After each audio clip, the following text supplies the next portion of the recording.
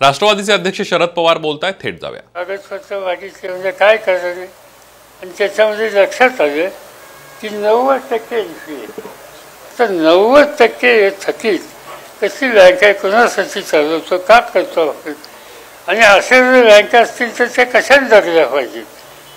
त्याला कसं उत्तर द्यायचं आपण? आणि म्हणून आज तुमची बँक हा चार टक्क्याच्याच एनपी आहे. याचा अर्थ मर्यादा ज्या आहेत बँकांना घालून दिलेल्या त्याच्यापेक्षा तुम्ही खाली आहात. त्यामुळे ही बँक उत्तम चालली. साधारणतः हे धोरण सहकारामध्ये काम करणाऱ्या सगळ्या लोकांनी ठरवलं पाहिजे. पैसे तुम्ही द्या पण घेतलेला पैसा वेळेवर परत करण्याची सवय ही सुद्धा सभासदांना लावली पाहिजे. केवळ बँकेमध्ये मतविवरणाच्यासाठी एक प्रकारचं लोकांना संतुष्ट ठेवायचं हे तिथं कृपा करून बँकेमध्ये आणू नका. त्यासाठी आहेत अनेक क्षेत्र तिकडे आपण करू आता का? हो. महानगरपालिका वगैरे वगैरे. त्यावेळी काय करायचं हे उद्योग करूया. पण या आर्थिक संस्थेमध्ये हे असले उद्योग येऊन द्यायचे नाहीत. याची काळजी आपण सगळ्यांनी घेतली पाहिजे. या बँकेनं अनेक प्रकारचे चांगले उपक्रम घेतले. आपल्या ज्येष्ठ सभासदांना शारीरिक आरोग्य तपासणीच्या संबंधीची सुविधा दिली गंभीरपणानं आजारी असलेला पंधरा पंधरा हजार रुपयेपर्यंत तुम्ही त्याचं मेडिकल बिल देता. दहावी बारावीच्या परीक्षेत पंच्याहत्तर टक्क्याच्या पेक्षा अधिक गुण मिळालेल्या मुला मुलींना तुम्ही गुणवत्ता पारितोषिक देता. आणि नेहमीच कर्ज परतफेड करतात.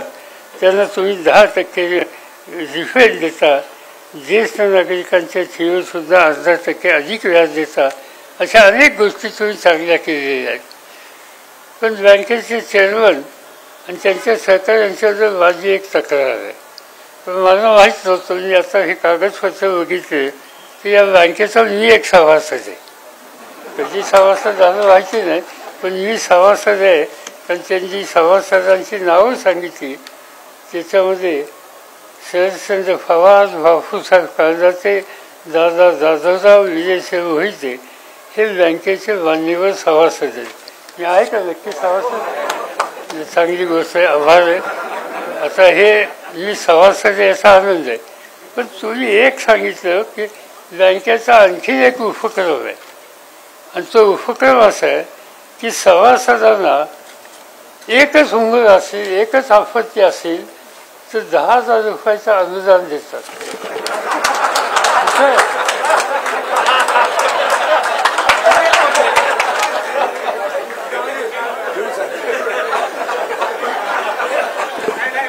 असं आहे ना दिलेला शब्द पाळला पाहिजे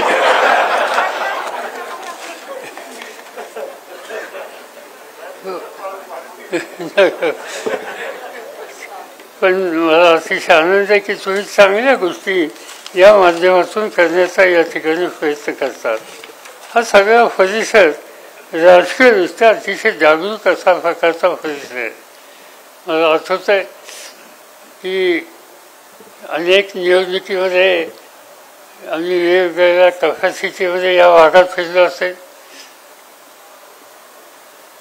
एक काळ असा होता की पुणे शहर हे काँग्रेसच्या दृष्टीनं एक महत्त्वाचा एक शक्तिशाली असा भाग होता.